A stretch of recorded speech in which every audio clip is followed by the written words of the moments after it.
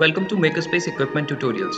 My name is Utkarsh and in this video we will learn to use Markforged Mark II 3D printer.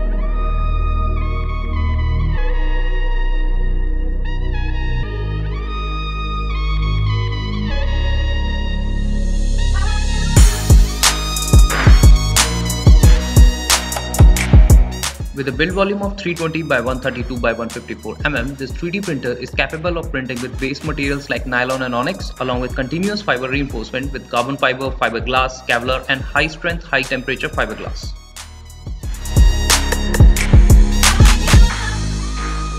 Just like any other 3D printer, operating this printer comprises of two parts, slicing a digital 3D model in Slicer program and printing the model in 3D printer.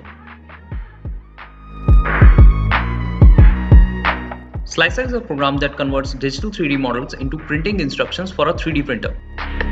A 3D model can be designed in a CAD software like AutoCAD, Rhino, Fusion 360 and SolidWorks. Once the model is made, export it into .stl file format. If you are learning to use a 3D printer, you can simply download ready-made 3D models from online platforms like Thingiverse, MyMiniFactory or PinShape.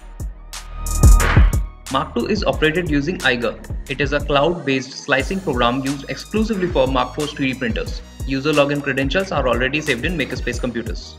After login, Eiger greets you with its design library. You can click on Import STL to upload your design. Once the file is uploaded, it is saved in library. You can move mouse to change viewing angles holding left click.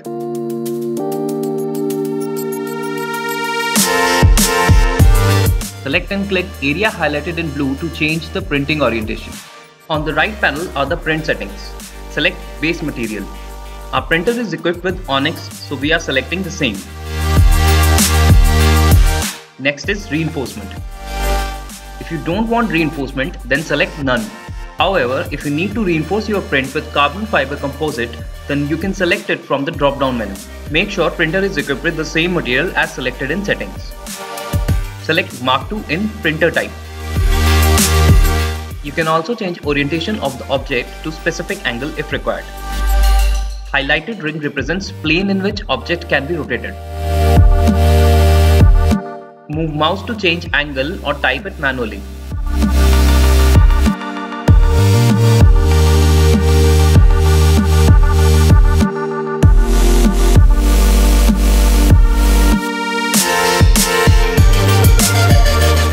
Layer height.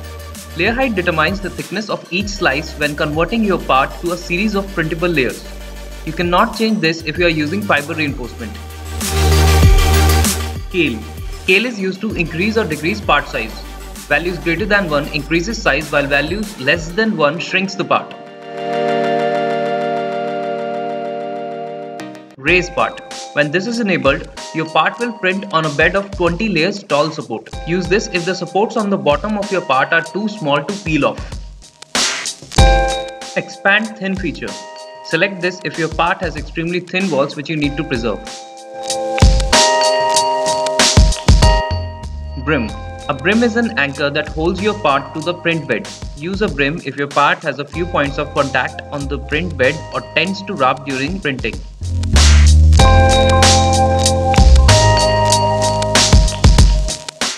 Infill patterns. Infill patterns are the geometric shape repeated on the inside of a part to add strength. Select solid for maximum density. Fill density. Fill density is the true density of the part. Different fill patterns have different possible minimum and maximum densities. 37% is the default.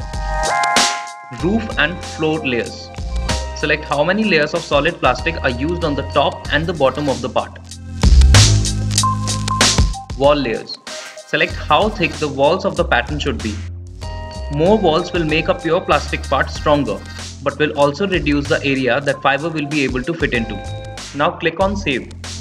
This will save print settings. On left panel, you can see part details including weight, printing time and warnings in which recommended settings are shown. Click on Internal View. This will show an internal view of the part reinforcement material is shown in yellow. You can also increase or decrease its layer height here. Click and drag arrows like this to edit.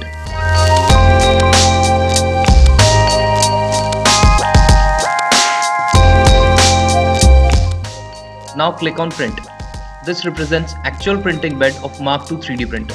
You can click on object and drag it to change position of the print on the bed. Turn on the switch located at the rear of the printer. Once printer is on, it will connect with internet via Wi-Fi. This will be indicated with green tick mark on Eiger program. Print button is enabled only when the printer is on and connected to internet. Click on print again. It will open a pop-up window showing plastic volume, fiber volume as well as job duration of the print. Select print now. It will start generating print file which will be downloaded in the printer via cloud. Meanwhile you can prepare printing bed. Lift and pull out the bed gently. This is not a heated bed so for print adhesion, washable glue is applied on the bed. Now you can keep the bed back inside the printer with these extruded bolts aligned to Z-axis slots. Once extruders are heated enough, print will start automatically. Real-time temperature and printing information is shown on screen as well as on Eiger program. While printing, extruders may leave filament threads. This is residual filament which does not affect printed part and can be removed later easily. Once printing is finished, it will be shown on printer as well as Eiger program.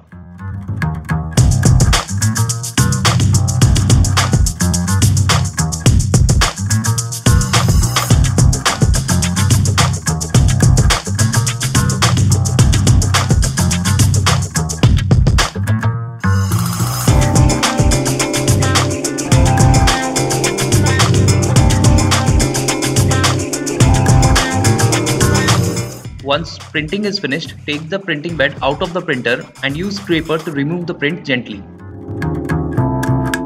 You are welcome to use this 3D printer in IIT Delhi Makerspace.